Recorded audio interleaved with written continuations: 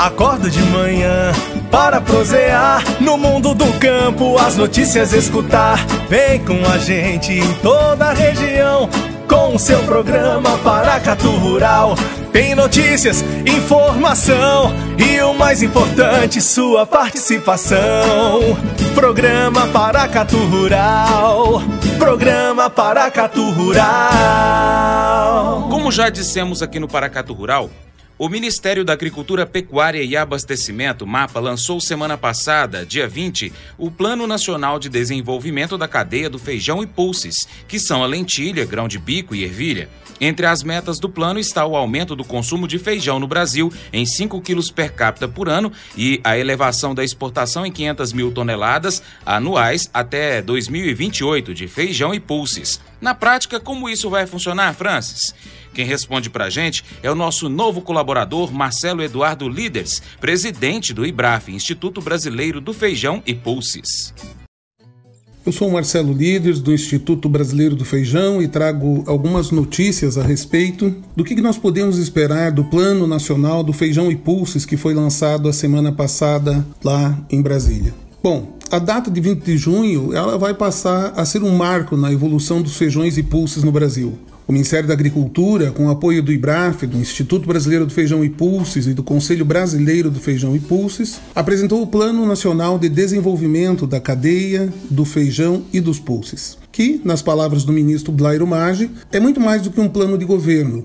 É uma iniciativa estratégica do setor privado que conta com o apoio do governo federal. A verdade é que a cadeia do feijão e dos pulses vem ganhando contornos de importância no agronegócio brasileiro, deixando de ser apenas uma cultura de rotação. Embora faça parte da mesa de quase todas as famílias brasileiras, há mais de 10 anos a produção agrícola e o consumo de feijão no país continuam os mesmos. O setor produtivo se ressente de uma estratégia específica voltada para o desenvolvimento do setor. A estruturação agora de um plano de trabalho da cadeia produtiva, em parceria com o Ministério da Agricultura, Pecuária e Abastecimento, o MAPA, permitirá agora ampliar as discussões das questões conjunturais, bem como pensar no futuro, construir projetos visando enfrentar as questões estruturais em prol da competitividade e sustentabilidade. É necessário imaginar um ambiente interno equilibrado para fomentar a produção com qualidade e sustentabilidade, garantir renda e ganhos para todos os players envolvidos e, por fim, fortalecer o papel do Brasil como maior fornecedor mundial de alimentos. O plano de desenvolvimento pretendido, que começa com um amplo diagnóstico do setor, pode ser entendido como um marco zero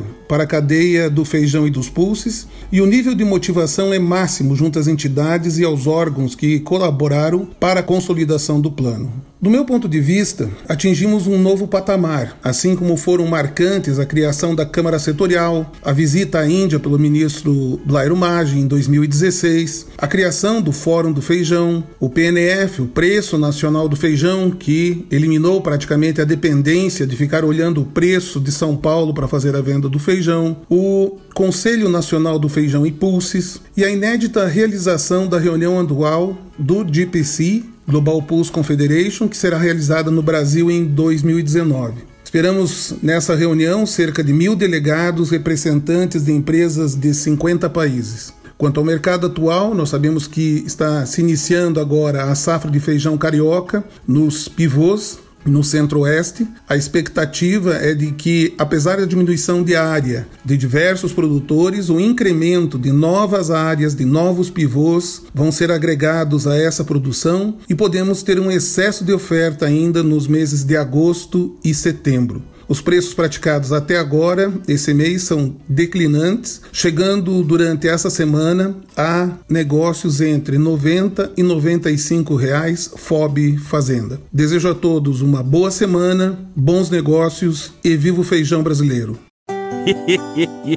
Mas eu vou dizer uma coisa pra você, viu? É, se quiser colocar propaganda sua aqui nesse programa, ó, eu vou dizer um negócio, você vai ter um resultado bom demais, senhor. É isso mesmo, é facinho, facinho, senhor. Você pode entrar em contato com os meninos ligando o telefone deles, é o 38, é o 991810123, bem fácil. É muito bom porque aí a sua empresa vai sair dentro de um programa que é ligado aí ao homem pra mulher do campo. É bom ou não é, só?